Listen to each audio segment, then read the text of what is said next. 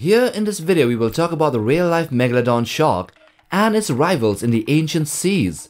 These gigantic sharks were noted as apex predators but the oceans of the world are expansive and there are other apex species as well, some of which rival in size, while others having numbers or even intelligence to their advantage. It's not just a guess or a probability, but a definite inference that the giant sharks were in constant battles against these other species. So we will dive into the deep and discuss firstly the growth and life cycle of the megs along with habitat and prey and then go on to the comparison between it and the rival species and which one might have caused the extinction of the megalodon. We will also tell you how they might have either hunted or killed each other in the past. So let's get to it. So the megalodon sharks were an extinct mackerel shark species that lived around 23 to 3.6 million years ago. Estimates of its size reach between 15 to 20.3 meters or 50 to 67 feet in length and weighing around 50 to 100 metric tons. It wasn't the biggest sea creature or marine predator of all time, but it is up there in the top 5. The Megs likely gave birth to live pups preferring warm coastal areas as nurseries. Infant megalodons were about 3.5 meters or 11 feet long, which grew at a slow and gradual pace and therefore also faced predation from other predatory sea creatures. Fossils of megalodons have been found globally in various environments, with a broad temperature tolerance due to mesothermy. They lived in shallow and deep waters, transitioning between coastal and oceanic habitats at different life stages. As for food items or prey, anything is good as long as it isn't poisonous. So let's go to the timeline and what are the competing predators that existed around the same time as these monstrous sharks. So these megs lived around 23 to 3.6 million years ago from the Miocene to the Pliocene epochs so that in itself shows a highly successful species lifespan and also there must have been quite a few rivals over that long period of time. The ones that we do know are three of them, mainly predatory whales. The first is the Livyatan melville, which existed around 10 to 8.9 million years ago, just over a million years, sharing the seas with the Megalodon. The second one is the sperm whale. Although fossil records are poor, there is still a tentative conclusion that these true sperm whales emerged around 5 million years ago and therefore would have shared the seas with the Megs for about 2 million years. The third rival is the killer whale. This one right here is known as the wolf of the sea. It evolved into being around the same time as the sperm whale.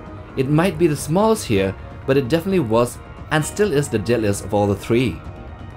Anyway, let's compare their sizes first and then go on into their interactions with the Megs. So the estimations of the Megalodon shark varied widely because they were initially thought to have been predecessors of the great white shark, but it is now suggested that they are in fact mackerel sharks. The Megs are thought to have been anywhere between 15 to 20 meters, or between 50 to 66 feet long, and weighing 50 to 100 tons. The Livyatan melville was also a beast. It was thought to have been of a similar size, between 13.5 to 17.5 meters, or 44 to 57 feet in length, and weighing around 50 to 60 tons. The sperm whale is on average around 16 meters or 52 feet long, but large males have been documented to surpass even 20 meters or 66 feet, longer than a meg, and the record size is 24 meters or almost 80 feet long, and that right there is a behemoth of the seas, with a weight easily more than 100 tons. So going to the third one, the killer whales are the smallest here with a record size of 9.8 meters or just 32 feet long, and weighing around 10 tons. So starting, let's go with the interactions between the Megalodon and the Livyatan melville. These were ancient behemoths. They differed in size slightly, uh, they differed in movement, senses and behavior as well. The Livyatan moved around 5 to 20 miles per hour using tail motion, while the Megalodon swam slower at 11 miles per hour with body and tail movements, with short bursts of speed that could reach around 20 miles an hour. Livyatan's taste and smell were limited but had sonar, or echolocation, while the Meg excelled in vision and smell. Both relied on size and speed for defense against one another. The Livyatan's teeth and bite adapted to ambush other prey items, while the Megalodon's colossal jaws possessed a powerful bite force that could attack anything directly. These ancient titans navigated prehistoric oceans with unique attributes and strategies. So in a fight, the Livyatan, one-on-one -on -one with a similar sized Meg would lose most direct battles, but since it is an ambush predator and can dive deeper and use sonar to detect threats, it could surprise attack a shark and take the win. The Megalodon, which is still a shark and had to constantly move in order to breathe, is at a disadvantage compared to the Livyatan, who could dive 500 meters down and lay in a still position for a long period of time waiting for the opportune moment. So the battles between these two species could have gone either way, depending on different situations and circumstances. Next, the interactions between a sperm whale and a megalodon. So to start off, sperm whales are swifter than megalodons in short bursts, yet the megalodon constant speed could match the sperm whale over long distances. However, the sperm whale could dive into deeper depths, which would be a death zone for the meg. The whale's defenses include a larger size, blubber protection, and living in a pod of several large individuals. The megalodon's safety relied on its size and heightened senses, akin to a great white shark's abilities, detecting electrical charges, chemicals, and motion. The meg boasted a powerful bite force as well, and a very large jaw, while sperm whales wielded massive heads for ramming, strong tails for slapping, and disorienting clicks. Sperm whales also flaunt some of the world's largest teeth, measuring 8 inches long, that could do great harm especially to smaller meg specimens. But the sperm whales have evolved in a different direction. They have evolved to hunt smaller creatures like a variety of fish species, even other smaller sharks, and giant squids, and therefore would not go head to head against a larger megalodon individual. It would rather just dive and hide until the shark goes away. The win in the short run goes to the meg in an encounter, but the fact that the sperm whale still exists today is evident of their most successful survival strategies. Now lastly, their interactions with the killer whales. Alright, starting with the size disadvantage, with a stomach capacity of nearly 10,000 liters, findings indicate that the meg, with its huge jaw, had the ability to consume prey up to 8 meters long in one go. This implies that the killer whale could have potentially been devoured whole by this shark.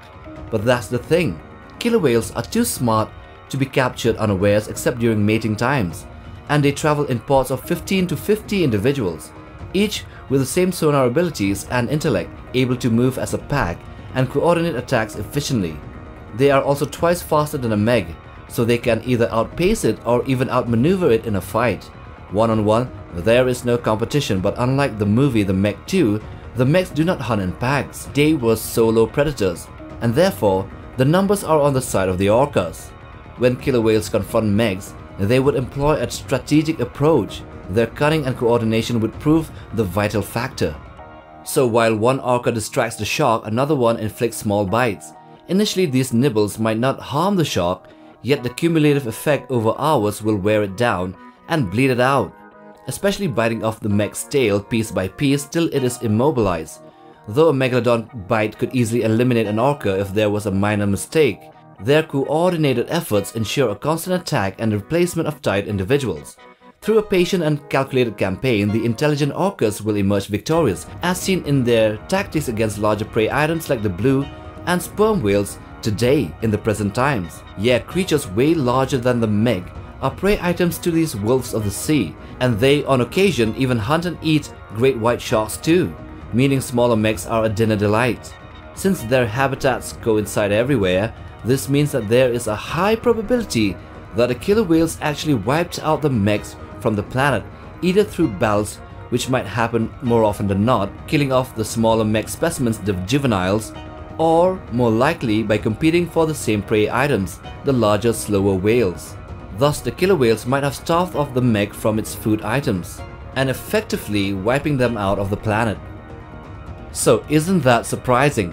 The killer whales, the smallest ones, made the biggest ones extinct. Anyway, I hope you have enjoyed watching this video.